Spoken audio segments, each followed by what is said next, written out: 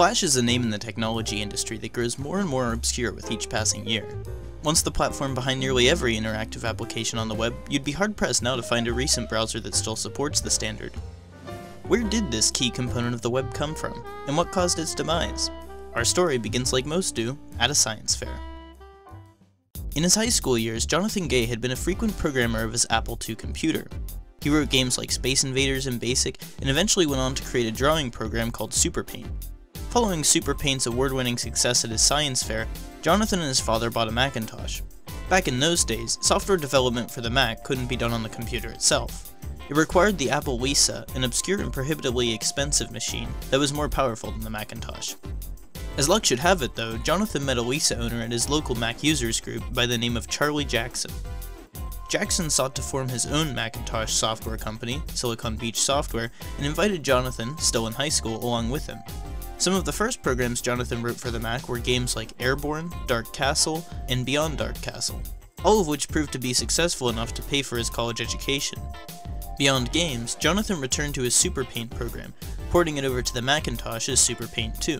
And, after being bought out by the Aldus Corporation, known for their PageMaker program, he released IntelliDraw. That program was special because it allowed for intelligent links between objects. Instead of having to adjust a drawing by hand, the files were interactive adjust one object, and the rest would follow suit. With the success he saw with IntelliDraw, Jonathan decided it was time for him to form his own company.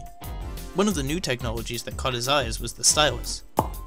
No, not that stylus. The stylus on the pen computers by a company called Go. Back in 1993, Go ruled the day for pen-based computers, and they were even in development of their own pen-based operating system. After Jonathan convinced Charlie Jackson to spend the money, the pair founded their next company, FutureWave Software, and started work on a pen-based version of IntelliDraw that they called SmartSketch. It's too bad though that once they finished the program in 1994, AT&T had just bought out Go, and frustrated with the company's lack of progress, pulled the plug on the project. FutureWave was left without a market, and it seemed the only way to make anything back on the software they had developed was to port it over to Windows and Macintosh computers. This didn't pan out too well though, since their program was just one of many in the PC market, alongside more established programs like Adobe Illustrator and Aldus Freehand. If there was any way SmartSketch was going to survive, it would have to be by being salvaged into something else. After some experimentation in 1995 with animation features in the program, FutureWave decided to combine their product with another new technology, Internet. They experimented with an embedded Java animation player, but after abysmal performance moved on to creating a Netscape Navigator plugin. Originally, the program was going to be called Smart Sketch Animator, but since Smart Sketch was mostly unknown, other names were tossed around, like Cel Animator and eventually Future Splash Animator. FutureWave was nervous though about their relative obscurity and attempted twice to sell off Future Splash to a larger and more influential company. First they tried Adobe and were rejected because of the software's at the time limited performance, they tried again with Fractal Design, who they rejected because they proved to be uninterested in FutureWave's animation software. Left with no other options, the company relented and released Future Splash Animator by themselves in 1996 to moderate success. Thanks to interest from Microsoft and Disney Online, the animation tool began to gain more mainstream popularity. By the end of the year, Macromedia had contacted FutureWave about acquiring their animation tool, renaming it to its more familiar name, Macromedia Flash. What made Flash ideal for online video was its ease of use and small file sizes. Even Macromedia's own program, Director, produced files in the megabytes of size, while Flash files were about one-tenth of that. Being so small meant loading times were much shorter. Add in the days of slow dial-up speeds and limited internet usage, and this played to Flash's advantage, along with Macromedia's decision to release the Flash Player Browser plugin for free, making Flash the most popular format for interactive online content over its contemporaries Java, QuickTime, Real Networks, and Windows Media Player. After being bundled in with the popular web browsers of the day, as well as Windows XP, 92% of internet users had Flash Player installed. At first, Flash was a pretty basic animation tool. It had a few options for vector graphics, bitmapped images, and limited sound, but with each annual release, the program became more capable. Along with smaller changes, like the introduction of MP3 audio, Macromedia began toying with the idea of interactive content in Flash. ActionScript, similar to JavaScript, enabled Flash to do far more than just animations.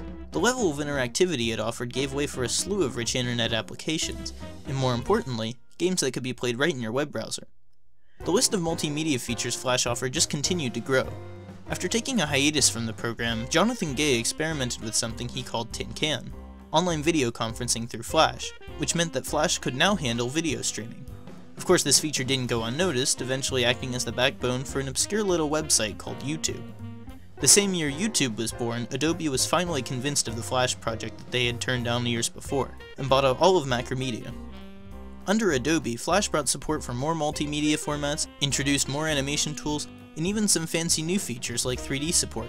It seemed that nothing could even hope to dismantle the Adobe Flash kingdom, and yet all it took was one pocket-sized problem. The year 2007 brought the introduction of a new must-have product, the iPhone.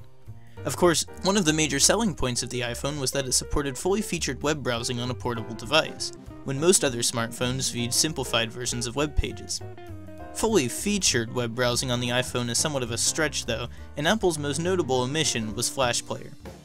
Despite criticisms for not supporting Flash on Apple's mobile devices, Steve Jobs published an open letter stating why Apple would continue excluding Flash. Jobs accused Flash of being controlled by Adobe, unlike the more open HTML5, CSS, and JavaScript standards. He also mentioned Flash's troubled security record, as well as stating that Flash was inefficient for low-power mobile processors. Some arguments were returned that Apple's App Store was just as closed as Flash was. In response, Apple did allow for Flash programs to be exported into apps through Adobe's iOS packager, but they never did give Flash support for their web browser. Even Adobe itself, a year after the Jobs letter, ceased development on Flash support for mobile browsers altogether. In the interest of supporting as many users as possible, most web developers moved toward newer standards like HTML5 and WebGL, which not only could do what Flash could do, but were also open standards and could be used by mobile devices and desktops alike. Thanks to these changing standards, Flash support dropped fairly quickly, with even Adobe in 2015 urging developers to move away.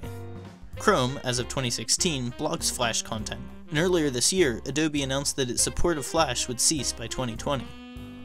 Some petitions have gone around in attempts to have Adobe Flash made open sourced, but even those petitions are realistic about Flash, and are interested mostly in legacy support for older Flash-based websites. Flash, for all intents and purposes on the modern web, is dead.